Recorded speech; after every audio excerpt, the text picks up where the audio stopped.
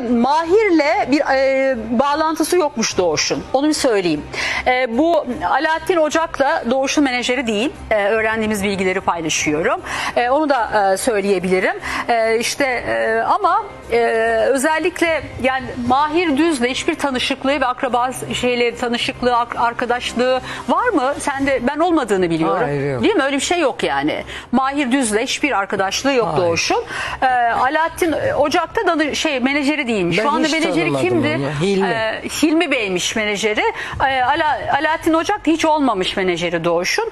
Ya öte yanda bir meslektaşım da çok üzülmüş. Tabii e, hanımefendi Hoşkedem Hidayet kızı. inanılmaz üzgünmüş. Boşanacakları yolunda bazı iddialar varmış. Bu da yalan. E, aldığım bilgiye göre Hidayet, e, Hoşkedem Hidayet kızı e, Doğuş'tan e, karı koca boşanmıyorlarmış. E, yayınlardan dolayı da üzülmüş. E, üzdüysem de ondan çok özür dilerim. Bir kadını üzdüğüm için özür dilerim.